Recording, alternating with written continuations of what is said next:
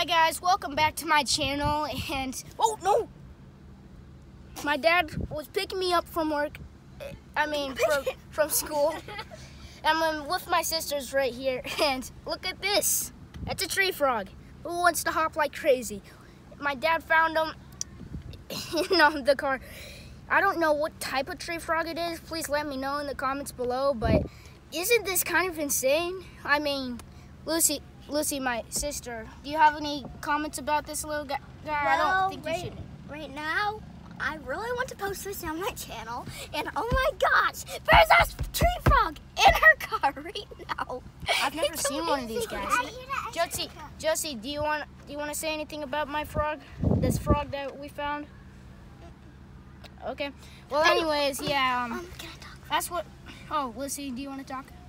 Um, and so right now we're literally in our school park parking lot, and people are like wondering what we're doing here, staying. And Dad said there's like a surprise in the car. I'm like, did you bring our dog? It is like an animal, or like what is going on? And then he showed us, and I was just like, okay, I was not expecting Are you that. okay? Is he okay? Where is he? He hopped on your arm. Where is he? Oh, there he is.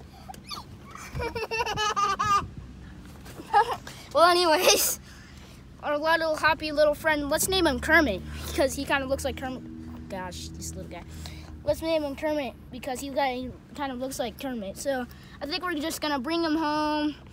Maybe we should um, put him in my baby gecko cage and keep him just to observe and stuff. And we'll let him go tonight, and you can see all his other froggy friends and stuff.